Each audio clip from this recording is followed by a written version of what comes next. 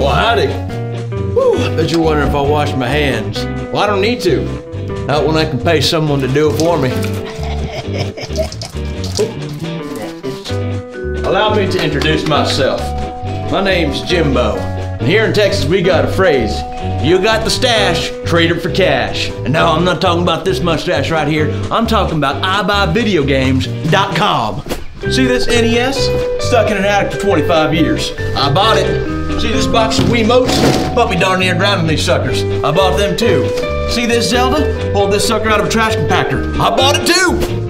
There's no need to come all the way to Texas. Let's keep things simple. Go to iBuyVideoGames.com, fill out a quick form, and I'll send you a quote by email, lickety split. Then, once I get your box of goodies in the mail, what we got here? Woo! I'll send you a treasure chest full of cash.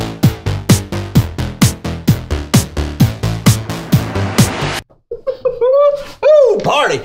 Now rest assured, when I get your game, I'm gonna treat it right. I'm gonna treat it like it's my own child. When we get it, I'm gonna brush it up, brush its hair, make it all nice and pretty, and then sell it off to a new family. And it's green. See this? A wall of drums. Some say it belongs in a trash heap. But no, I say otherwise. Someone came up, gave them to me, and in return, I gave them cash. Woohoo! Smells like environmental responsibility to me.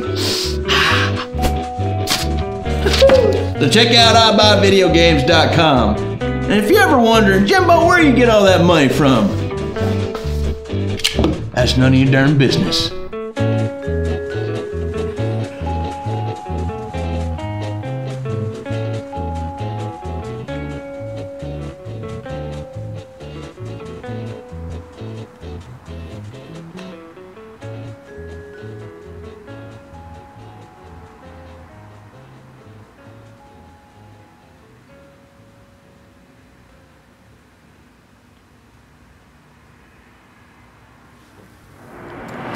Got Viewtiful Joe, I'll give you the dough. Got games to stake, I'll be your bank. Got primal rage, I'll pay your wage. Got Xbox Ones, I'll give you the funds. Got Hans Ray, for that I will pay. Got Metroid Prime, I'll give you the dime. Got Dawn of the Dead, I'll give you the bread.